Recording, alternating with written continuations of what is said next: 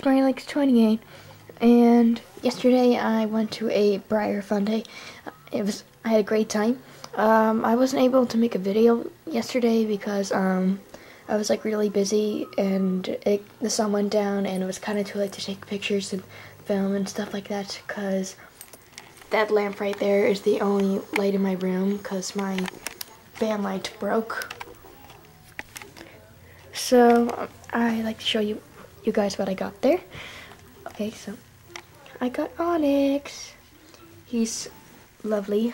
He's, he's my first and only glossy model I have right now.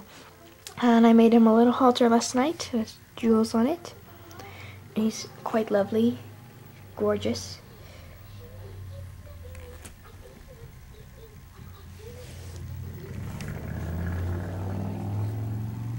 So he's just really lovely and I love him.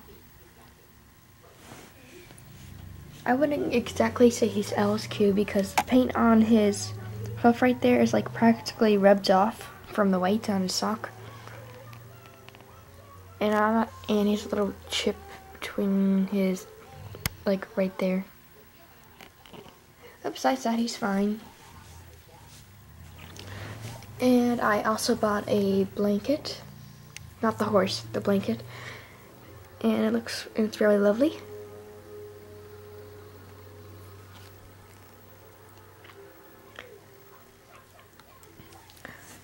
So it's great to protect her from, to protect her body from any scratches or anything like that. And then here is the stablemate I painted. Oh my god, I am in love with him. He is so gorgeous. He's lovely. He's got a little star on his forehead there. And then he's got socks. I'm not quite sure if you could see this on his tail, but it, like right there is a bit of yellowing. A lot of palominos have that.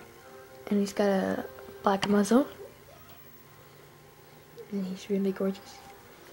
Me just show you. Oh, yeah, that's my school laptop, so.